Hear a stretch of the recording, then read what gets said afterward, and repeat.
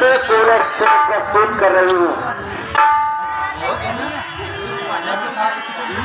कब